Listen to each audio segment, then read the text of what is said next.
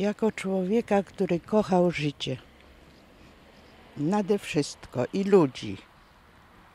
I nic poza tym nie mogę powiedzieć, bo słowa mi grzęzną w gardle. Szkoda człowieka, który tyle zrobił dla każdego z nas. Dziękuję bardzo. Wspomnienie moje jest, jest y, właściwie chciałabym poprzez to świadectwo, które tu się odbywa w tej chwili, ten cały kościół pełen ludzi, którzy odczuwali miłość od księdza Jarka i oni, i oni w tej chwili wydaje mi się, że dają świadectwo tego, czym jest miłość międzyludzka i jak on pięknie kochał tych ludzi i właściwie wszystkich, z którymi się spotykał. Mała parafia w wielkim świecie. Do, tego, do tej parafii 9 lat temu przyszedł człowiek, który swoim stylem i formą pracy zaskoczył nas wszystkich. Wspominam go jako dyrektor szkoły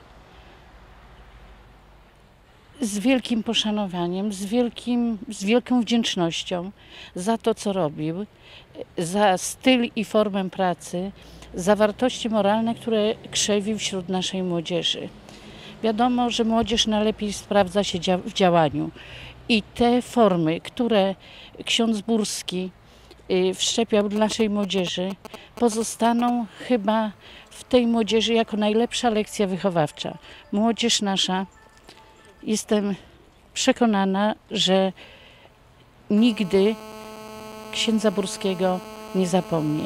Ja osobiście wspominam go jeszcze z ostatniej procesji, kiedy przy szkole był obra, ołtarz i ksiądz Burski powiedział takie słowa. Stoimy przy szkole, która tak pięknie uczy i wychowuje naszą młodzież.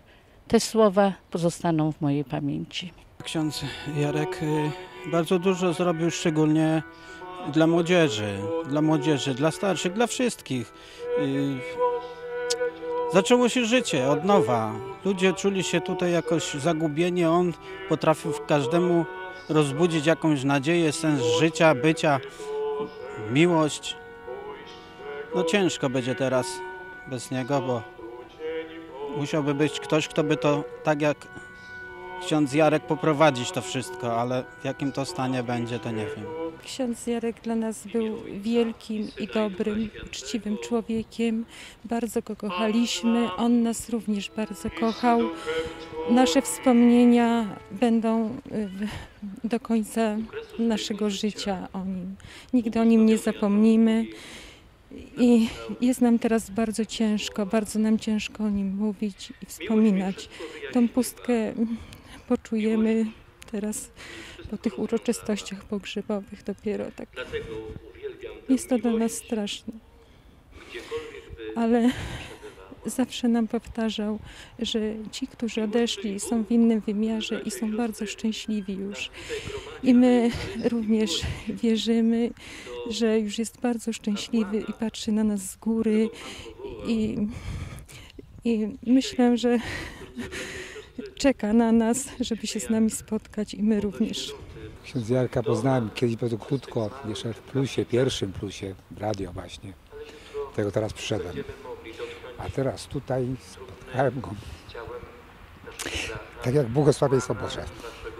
Wprowadziłem się do parafii 3 lata temu. Chciałem tu budować dom. I przyszedłem do parafii prosząc, żeby poświęcił nam kamień węgielny. Przez tydzień czasu się modlił nad nami. Towarzyszył nam przy budowie. Dzielił się z nami swoimi problemami później. Prosił o nasze uwagi. Robiliśmy ostatnio razem procesję Bożego Ciała. Dałem jakiś nowy pomysł, że to mają być bramy. Podjął to tak ochotnie, tak rozwinął ten temat, że teraz postawiliśmy mu bramę. Mówił, że to są bramy właśnie. Między innymi śmierć jest taką bramą przejścia. Taką maleńką bramę mu tam w tym miejscu, gdzie zginął, postawiliśmy. Będzie z nami tutaj dalej. Ksiądz Jarek był e, wspaniałym księdzem. E, Organizował nam kolonie, ferie zimowe, jeździliśmy na nartach. E, Ostatnio e, tańczyliśmy, e, wszystkie tańce miały być inne. E, Dzwonił, dzwonił do mnie w piątek, mm, powiedział, że mm, będzie spotkanie we wtorek w sprawie kolonii. E, Miałam jechać jako wychowawczyni. E, Powiedział, Gosia to będą najwspanialsze, najwspanialsze wak- wak- wakacje w tej parafii od, od 9 lat.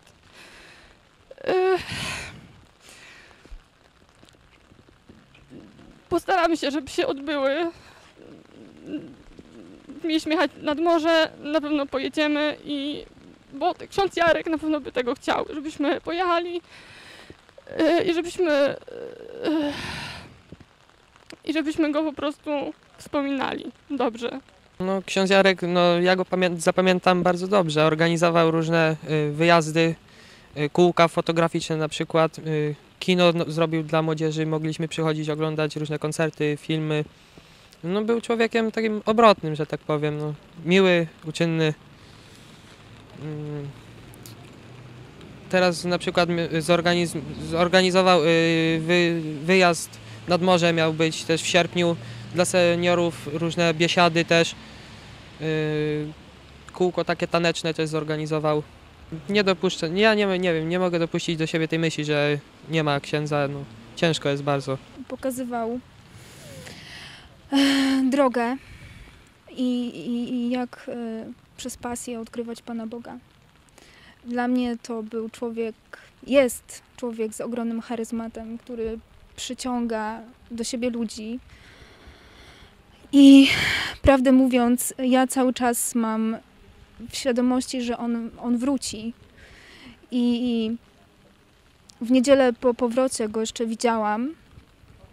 Nie wiem, czy nie byłam jego ostatnim gościem, odprowadzając mu psa po podróży.